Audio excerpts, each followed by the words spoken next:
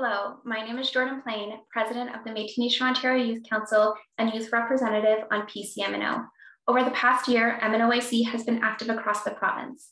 In September 2020, in collaboration with President Froh, MNOYC launched our monthly cheese series.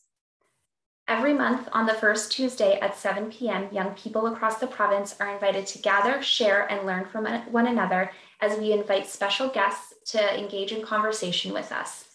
Over the past year, we've had guests connect with us about topics around self governance, language, culture, arts, and harvesting. We look forward to continuing this monthly series next month in October on the first Tuesday at 7 p.m. In February of 2021, MNOYC, again in collaboration with the MNO, created the first MNO self governance simulation. MNOYC welcomed young people from across the province to learn and gather as we began to understand the MGRSA. By the end of the gathering, MNO youth were welcome to create a simulation and mock and mock agreements.